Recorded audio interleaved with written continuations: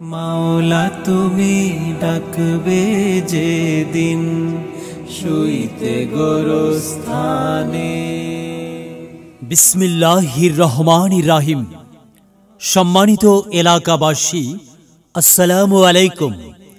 ইমাম বখারি রহমতুল্লাহি আলাই এতিমখানা এর উদ্যোগে ইমান আমলের উন্নয়ন ও ছয়জন হাফেজ কোরআনের সনদি পাগড়ি প্রদান উপলক্ষে তেরোতম তাফসিরুল কোরআন মাহফিল, তেরোতম তাফসিরুল কোরআন মাহফিল, স্থান চতুরা উচ্চ বিদ্যালয় মাঠ, স্থান চতুরা উচ্চ বিদ্যালয় মাঠ, তারিখ এগারো নভেম্বর দু হাজার তেইশ ইং, রোজ শনিবার, সময় বাদ মাগরিব হইতে।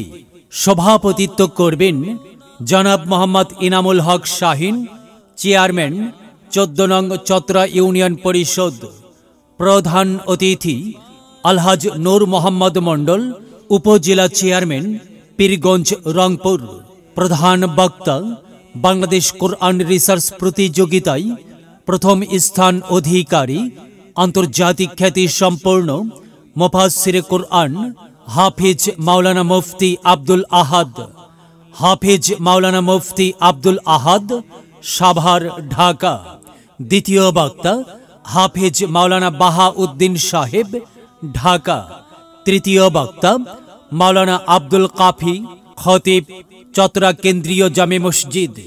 বিশেষ অতিথি, জনাব মোহাম্মদ শফিউর রহমান মণ্ডল মেলন, উপজেলা ভাইস চেয়ারম্যান, পীরগঞ্জ, রংপুর।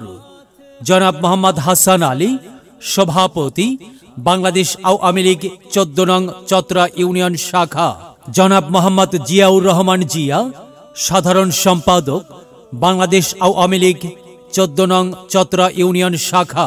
বিশেষ অতিথি হিসেবে আরও অনেকেই উপস্থিত থাকবেন।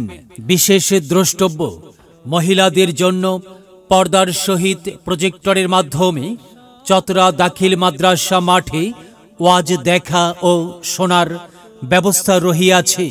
আয়োজনে মাহফিল ইন্তেজামিয়া কমিটি, উক্ত মাদ্রাসায় ছাত্র ভর্তি চলছে। উক্ত মাহফিলে আরও অন্যান্য ওলামাই ক্রামগণ উপস্থিত থাকিয়া ওয়াজ ফরমাইবেন।